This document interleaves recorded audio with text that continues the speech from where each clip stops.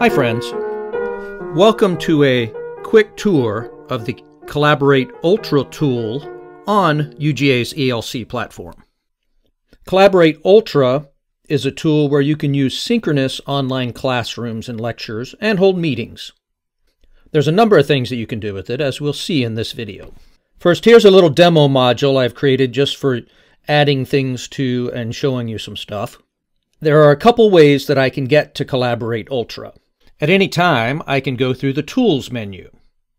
Click on Tools, and you'll notice Collaborate Ultra is there. Typically, when I want to use Collaborate Ultra, I want to set up a session that my students can access at a later time. So instead of going through Tools Collaborate Ultra, I will add a link inside the module to the session that I want to set up. To do that, click on Existing Activities, go to External Learning Tools, and notice you'll have Collaborate Ultra. Also notice Blackboard Collaborate is above. That's an older version of Collaborate. You'll want to stick to the newer version, which is Ultra. Once you've clicked on Collaborate Ultra to choose it, you'll notice that a new link has been added to your module. You can edit this to appear however you want. For instance, edit properties in place. You can then change this to our next online meeting. You can add dates and restrictions. You can even change the description.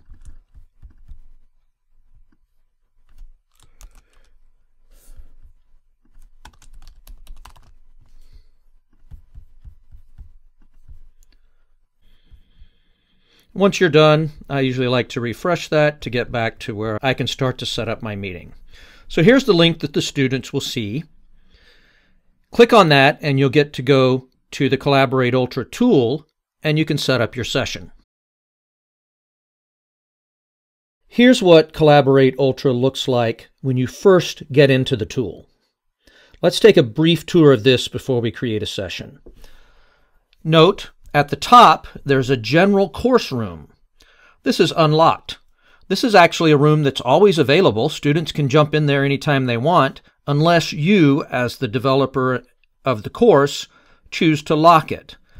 Over to the right, there's a set of session options. You can join that course room. You can dial in to this number.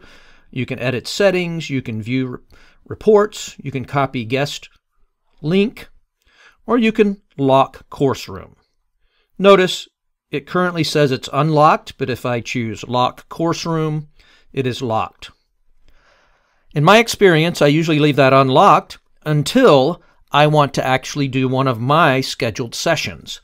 Then before I start the session that night, I make sure I lock this course room. I have had students in the past get into the wrong room and wonder why the session hasn't started. So I found out if I locked this room, they can only get in the one that I have currently open. Note that it's there, and that if you leave it unlocked, students can get in there at any time and use that room. I generally use that room for office hours. Notice over to the left of the sessions bar, there's one of those hamburger style menus. Click on that to see the menu. Notice we're currently in sessions. The only other option is recordings. I have no recordings at the moment, but after a session has been recorded, given it a period of time for it to render, it will show up here. You may have to show your students how to get to that. People can also search for different recordings based on the dates. Recent recordings only go so far back, 30 days. If you want something earlier than that, they'll have to get recordings in a range and click on the dates for those.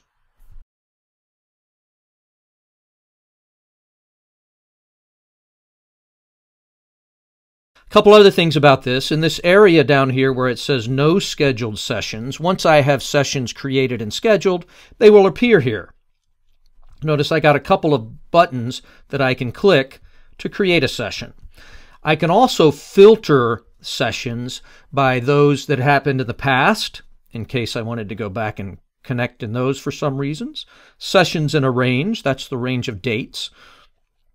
Or by default, the upcoming sessions would show up here.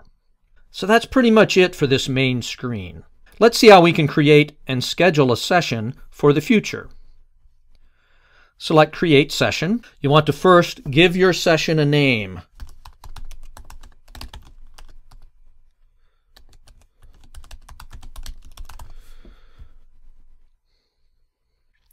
Notice just below that there's anonymous dial in. If somebody doesn't have a computer they can dial in through their phone using this number, you can send that out to them however you want to get that to them. You can also allow people who are not in ELC to have guest access. You make sure you check the guest access here. Then you select what role they would have, and you send out the link that is provided here. I rarely use that, but one of our MBT instructors often has guest presenters come in to his courses. Below this, you set up your event details. What's the date of your session? I'm going to keep mine for today and leave it on 318, but you notice you can click and pick whatever dates you need to in the future. I'm going to leave it here so that we can join it in just a minute. So I want to have an actual open classroom while I am creating this video. Early entry allows people to come in early. I generally leave it to the default of 15 minutes before time, but you can set it to whatever you need to. You can click and provide a description of your session.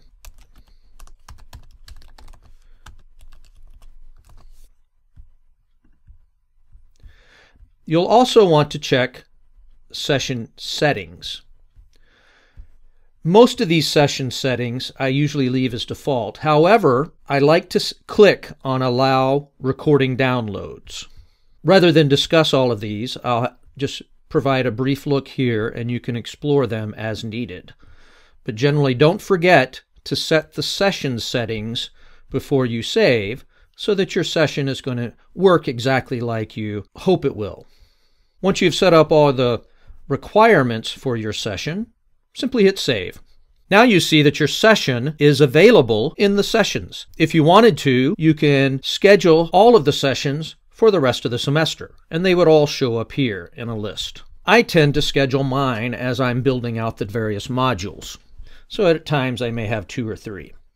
Now let's go into the session and have a look at what Collaborate Ultra Classroom looks like. So simply click on the session, if it's an active session now, you'll see the Join Session button. Your students will also see that. If it's not active, the Join Session button will not appear here. For example, if it's for a future date and not active at this time. Here's what you see when you're in the room. First thing I like to do is go ahead and check my audio and video and make sure that they're working. So down at the bottom you can see Share Audio. Note that if you're speaking, the microphone will give an indication of whether it's working or not. You can also allow to share video. Your video will show in the bottom left corner of your screen. You can also raise your hand. This makes no sense at the moment, but we'll see where that comes in later. Note there are two tabs, one at the bottom right corner of your screen that's purple, and there's another one at the top left called the Session menu. Let's have a look at the Session menu first.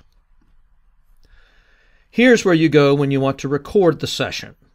So let me go ahead and start a recording.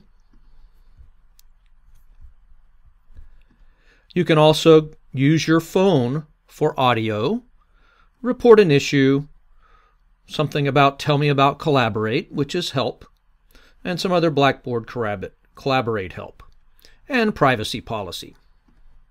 Let's open the um, open the collaborate panel on the right. Here we have a number of things. You can see who's in the system and you can chat with them. This is your chat. Generally, I like to have this open when I can so that I can uh, see any questions that student might have. Notice that it's recording messages in this chat as well. On the attendees option at the bottom, I see that I'm one attendee. I can also detach the panel. This is nice if I want to move this panel or keep it open. While I'm looking at chat, I may also want to be monitoring this. So when a student raises their hand, you'll be able to see their hand raised here. Students will have other options, like they can lower their hands. There's also an icon that indicates how well their signal strength is. Note when that's detached that the attendees does not appear as one of the options at the bottom of that Collaborate uh, panel. Sharing content. Here's where we can share a blank whiteboard, share a screen, share files, do some polling, and do breakout groups. So you can set up different breakout groups here. I'll leave it to you to explore how to use that tool or to use the polling tool. But just note they're here when you need to find them. Let's look at the whiteboard and how we can share some files. So first, the whiteboard. If I click Share Blank Whiteboard, you have this. Up in the top of the screen, you'll see select icons, pointer icons, pencil icon. I can draw things on the screen. Click Text, write some text. I can erase everything. I can draw shapes. This could be useful if you just want to kind of ad-lib things that you want to show them. Draw diagrams on the fly.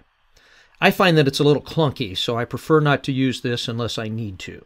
You can also share application or screen. Use this to select different screens you might want to use. Hit allow to share that.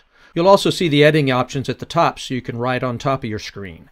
I find that this works better for me in Google Chrome than it does in Firefox, which I'm currently using. So be sure that your browser is compatible with that. There's probably just a setting I need to set up in Firefox to allow this. The other thing you can do is share files. To share files, this usually works best if you use something like PowerPoint create your PowerPoint slides. I often create mine in Keynote, but then I export them to PowerPoint so that they work here. Then you can just drag your files